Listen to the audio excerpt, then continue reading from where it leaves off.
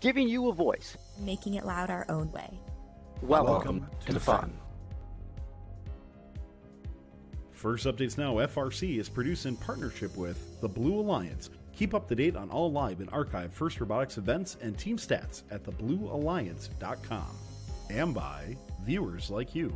We need your help to keep fun loud, live, and independent. Help us by visiting our Patreon to pledge your support at patreon.com forward slash first updates now.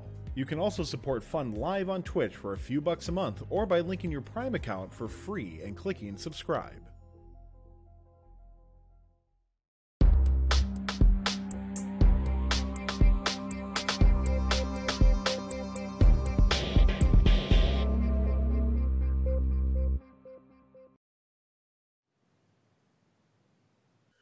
Welcome to Best of the West, where just because the season is suspended doesn't mean our producer Tyler lets us have a break. For your viewing pleasure, we are shifting focus from event recaps to spotlighting awesome teams who represent the best of the West region, where you'll get a better look at their team and robot. Reporting for First Updates Now, I'm Aiden Ferrer. And I'm Alex Utzinger. Let's welcome on our guests for this evening. This team went 14 and 2 in Infinite Recharge and were the winners of the Utah Regional. They also won the Quality Award for their awesome machine. It's Team 8, Paly Robotics. Join us from Team 8 to talk to a uh, joining us from Team 8 to talk more about their season is Griffin. Griffin, welcome to the show. Why don't you tell us a little more about yourself before we get started? Sure. Uh, so I'm a junior on Team 8 Paly Robotics. This is my third year on the team, and I am this season's design sub-team captain. So I was basically responsible for um, leading the rest of the design sub-team in the robot and uh, making sure that everything from prototyping to the CAD stages to the handoff to build was running smoothly. So, would you say you've been one of the big shot callers for Team 8 uh, robot wise this year? Uh, one of them, but you know, it's always a team effort. So, yeah, always. Well, always. so as as uh, someone who was helping lead this uh, whole project, what was the game plan for y'all on kickoff, and what was your initial strategy, conceptual robot design, or anything that you knew that you wanted to do from day one?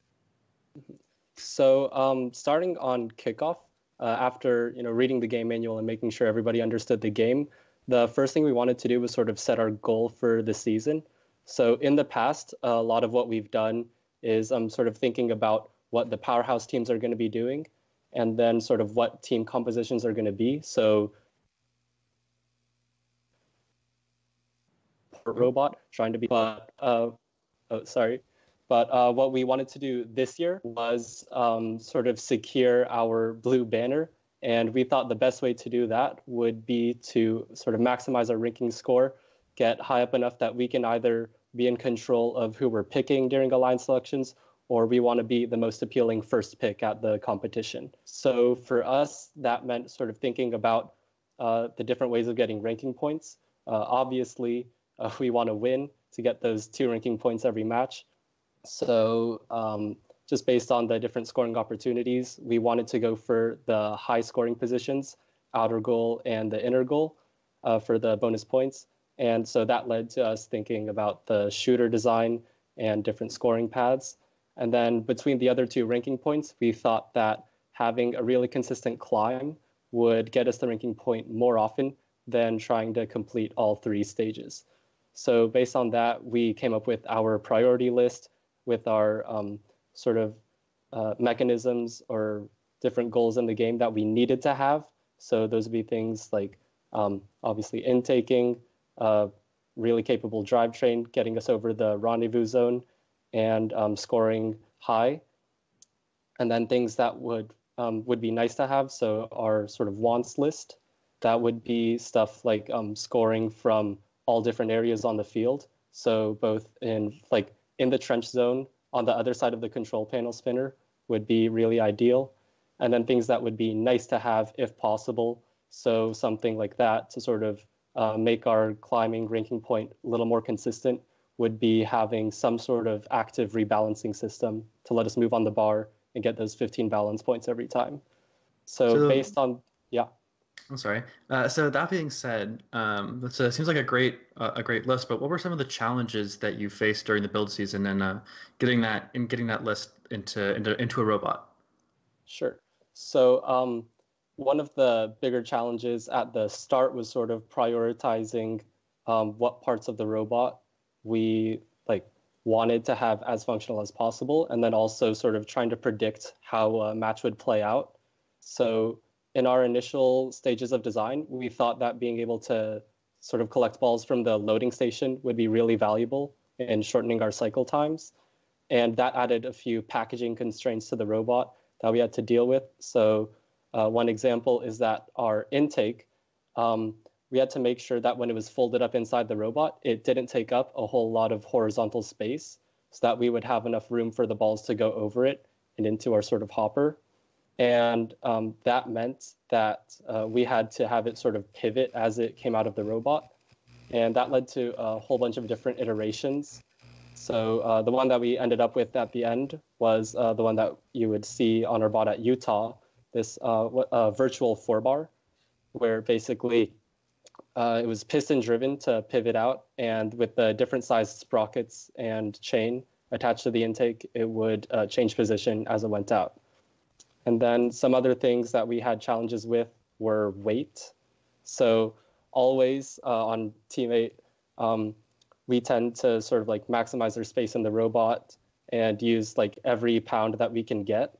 So what ended up happening was our practice bot was actually 10 pounds overweight when we first weighed it a few weeks before competition. Really? Yeah. So um, after that, moving to the competition bot, we looked for every way that we could possibly shed material. So we originally had our actively rebalancing hook on the practice bot. We got rid of that to save weight for a new passive hook. And uh, we also did a lot of windowing and uh, pocketing on our robot. And we somehow managed to drop enough pounds to be legal for competition. What That's was always the, uh, good stuff. What was the final weight of the robot? Do you know? I think at Utah weigh-in it was it was 124 point something. Oh man, yeah. so you had mentioned earlier in your design process with your list of wants and needs, um, you'd mentioned that you're trying to think about what the powerhouses were doing, what other top teams were making. Uh, did you take any inspiration from any previous robots that were either your own or another powerhouse team uh, in, in, California, and how did that shape this year's bot? Absolutely, we uh, we loved the 1678 motto stealing from the best and inventing the rest. So uh, one of the biggest lessons that we've learned uh, with our intake was um, sort of in 2016 intake completely inside the frame perimeter and it did not work out very well. So since then we've um, realized that the full width intakes are much more efficient. Uh, this one actually let us uh, in an ideal scenario, pick up three uh, power cells side by side So bring them into the robot. So definitely that we uh, borrowed a lot of the mechanical design of the rollers on a robot with the surgical tubing over aluminum round stock from some powerhouse teams. Uh, what else? We looked at a lot of robots from 2012 for the indexer and the shooter, since uh, we found that game was pretty similar to this one in terms of shooting a bunch of um, like medium-sized balls compared to say Steamworks, where the balls were a lot smaller. It was a lot more volume, or Stronghold, where it was just one at a time. But uh, we definitely looked at teams from those years as well. Our hood, especially, with um, we didn't want to go for a completely sort of um, adjustable hood with a like a gear on the back to because uh, we thought that would be added complexity and it would take up another motor slot. So we came up with this uh, three position piston driven hood design by looking at teams 2056 and 1114 from 2016. And you had also mentioned that you had to shave pounds off your robot before getting to your events because you were uh, several pounds overweight. What other preparations for uh, the actual competition did you have to make, whether it was weight savings or other cuts to the design? Um, those weight savings and design cuts were actually pretty similar to each other. Um, so dropping the active hook saved us a few pounds. Um, we actually allocated space on a robot for a turret just in case. We never planned to put that on in time for Utah, but we were thinking maybe before Monterey or before Champs, we would put that in there. But uh, we definitely did not have the weight to do that. So um, taking out some of the material that we had put in there to sort of mount the turret gearbox to, that saved us uh, at least a pound, I'm pretty sure. And then uh, in preparation for Utah, was there anything specific that you guys did uh, for driver training that you think uh, really contributed to your success? Uh, well, just in general, we had sort of a lot of driver training before Utah. We are really lucky to have the space for a full practice field in our lab. So starting at the very beginning of the season, um, all the all the freshmen and some of the veteran members helped lead the building of our uh, wooden practice field. And that means that software can get testing autos with our past robots really early in the season. So that's helpful. Uh, it helped us get two uh, very high scoring autos this year, uh, which we're pretty proud of. So we saw both of those being used at Utah. And then also, uh, since we save our past robots, we got a lot of uh, drive practice against defense this year. So that was really helpful, we think. Well, so we want to focus a little bit more on uh, the auto. can you explain a bit more about how that was developed, what you were looking for with that? What, what kind of things did you come up with? Sure. So the two auto routines that we had, uh, one of them was uh, starting in the center shooting our first three power cells, and then moving to our own trench. And the goal of that one was to just take a pretty um, sort of linear path and then shoot from a protected shoot um, just the balls that were on our side of the field. And then the other one would bring us over to our opponent's trench. Uh, so we would take those two balls and then move over back towards the center to shoot. And basically, between these two autos, we could uh, run our robot on one side of the field, and that way we could avoid conflict with our alliance partners. Well, definitely sounds like you made a really robust, well-designed bot, and you've got the awards to show for it. Uh, let's focus a little bit more on how you won those awards. Let's talk about Utah a bit. Um, going into the event outside of California, you know, your region that you usually play in, uh, was there anyone that was already on your radar going into Utah as teams that you knew, oh, we want to play with them or we need to look out for them? Yeah. So, um, pretty prominent team 2122 Taters, obviously a world class level team playing on Einstein's pretty consistently. Uh, we were definitely looking out for them. Actually, the first day when the match schedule came out, we saw that we had two back to back matches, one with them and one against them. So we started thinking about our strategy for playing against them and how that match would play out. Uh, some other teams, 1339, Angel Botics, we actually got a lot of footage of their robot from before the event over Discord, and their robot was definitely looking really strong uh, you, you could see at the event that they could shoot uh, their power cells really quickly. So we were definitely thinking about partnering with them or looking out for them as a threat. And then 1410 Kraken, historically a pretty strong team, and they demonstrated that very well at this event. And then a couple more uh, 3230 and 4068, just some historically pretty strong teams from that area. Okay. And then, so uh, with all this pre scouting, um, you must have had a pretty easy time of alliance selections. What was your strategy going into uh, picking an alliance? So, uh, the night before alliance selections, we were basically going through the different scenarios. Um, the easiest one is the one that fortunately ended up playing out. We were picked by Kraken. We were hoping to either get picked by them or 1339. And then in that case, we would just focus on our second pick, but then the um, scenario that we did a lot of preparation for was what would happen if they, um, say, if 1410 ended up picking 1339, which we thought was pretty likely going into the second day of quals matches. And in that case, we were just looking for who our strongest partner would be going up against them. So we were definitely looking at uh, Team Taters 2122. Uh, we were also looking at 4068 high up on our pick list basically someone who could complement our scoring and our autos and someone with a consistent climb. And then for our second pick, uh, we're really happy with what ended up happening. We caught um, some match footage of 3245 playing incredible defense, and also their um, robot was really effective at shuttling balls across the field. We thought that would be really handy for shortening cycle times since we wouldn't have to cross the field if they were shooting balls through the trench. And then in our last match, uh, Quals 90, we actually played against them, and they played some really hard defense against us.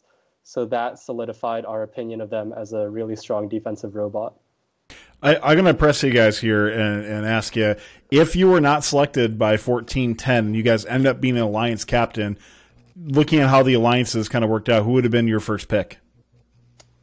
Um, probably Team Taters. They had a really strong showing in Teleop, and we think that would have been very valuable, as well as a strong auto. And then uh, we probably would have gone with a um, a consistent climber for our third bot, just to secure the balance points at the end. But we definitely had a number of teams on our pick list who we were looking out for.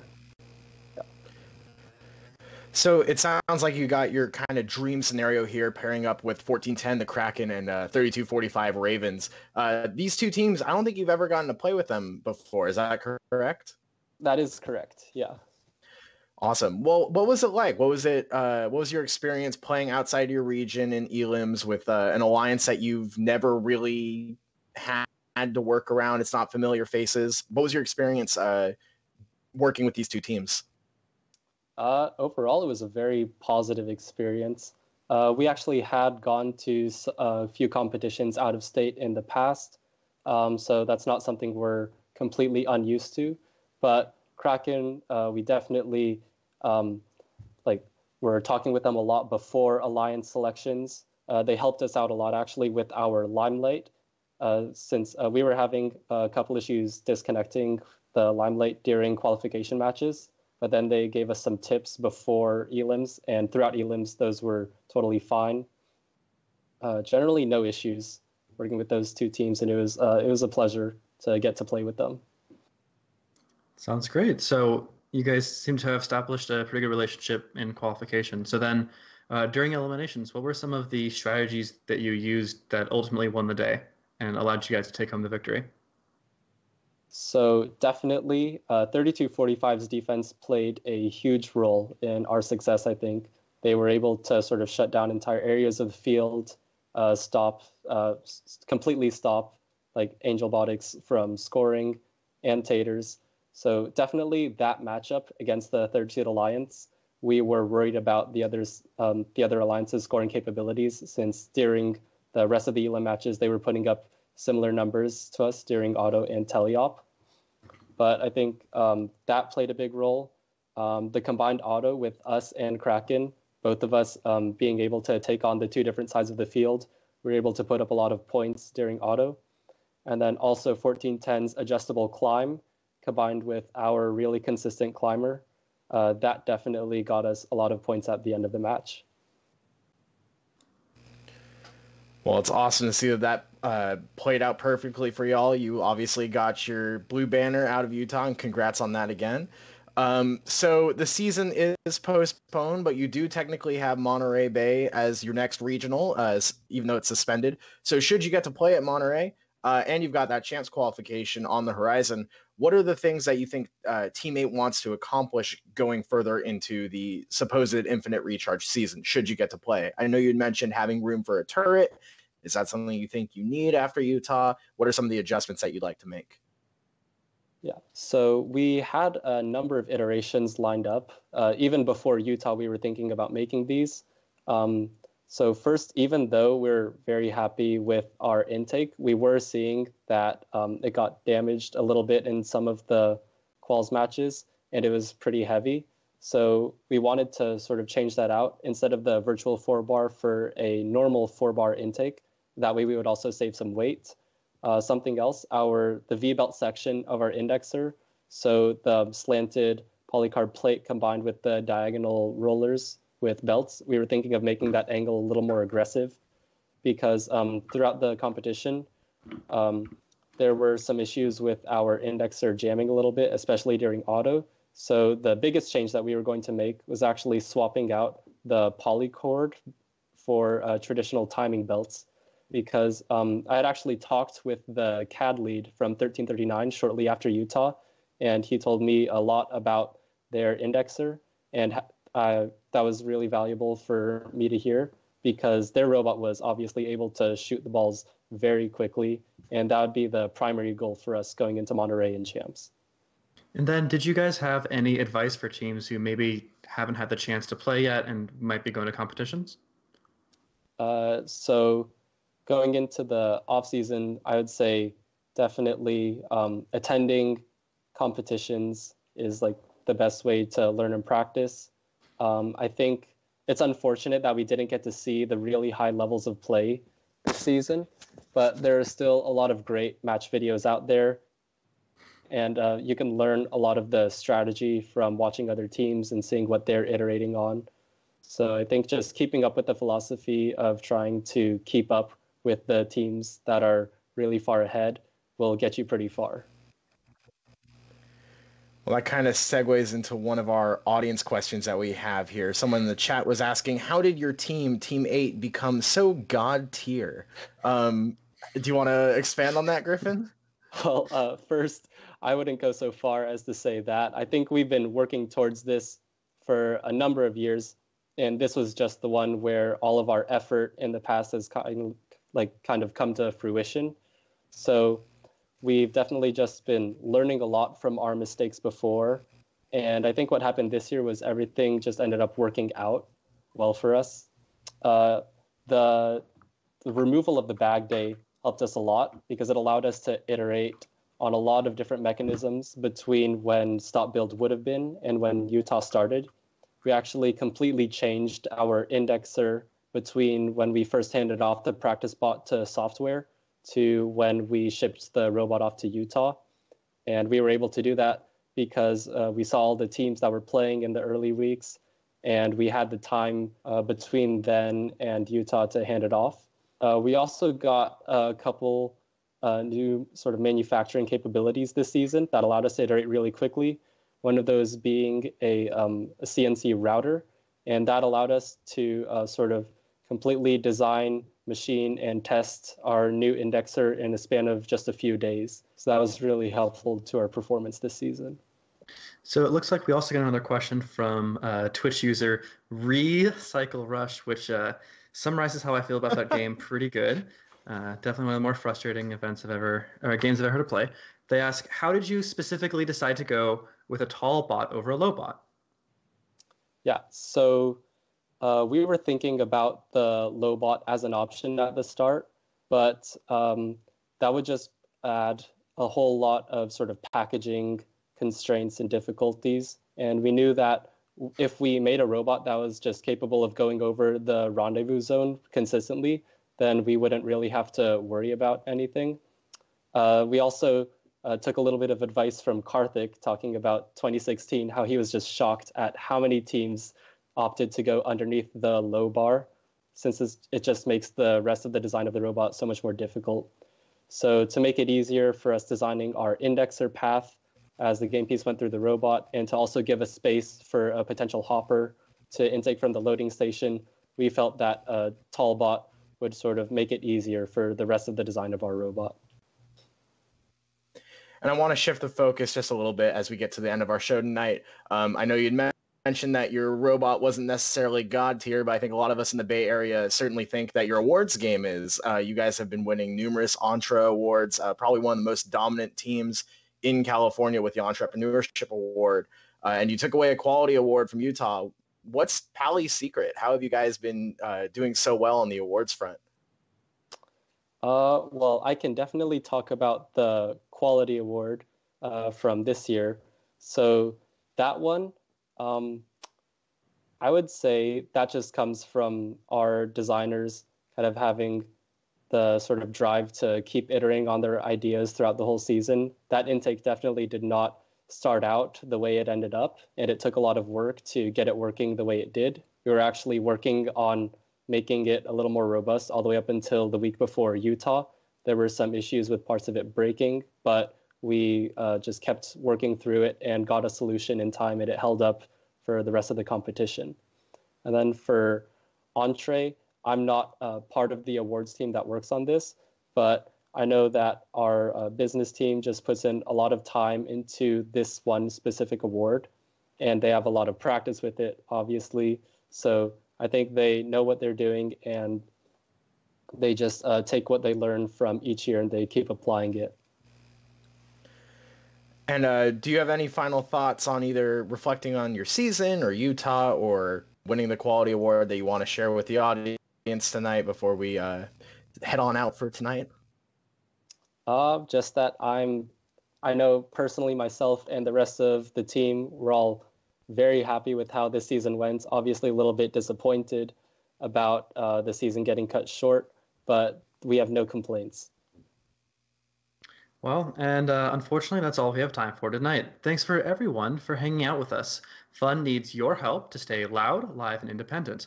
Please consider giving your support support by joining Fun Nation with a subscription or bits on Twitch, becoming a patron at patreon.com slash first updates now, or just letting people in first know that this is the place to be to get the information that your team needs. Don't forget to check us out on Discord, YouTube, Facebook, Instagram, Twitter, and live on Twitch. On behalf of myself, Aiden, and our producer Tyler, I would like to thank you for tuning in and thank our moderators in chat. Best Best of the West will be back in two weeks, but Fun will have shows every Monday and Tuesday, so make sure that you check social and Discord to stay informed. Talk to you next time on Best of the West. Thanks for watching. If you want more fun content, be sure to subscribe and ring the bell to be notified about our latest videos. You can also directly help support Fun by visiting our Patreon at patreon.com forward slash first updates now or by subscribing at twitch.tv forward slash first updates now. Thanks to all of our co-executive producers on Patreon and Tier 2 Plus subscribers on Twitch, keeping fun loud, live, and independent.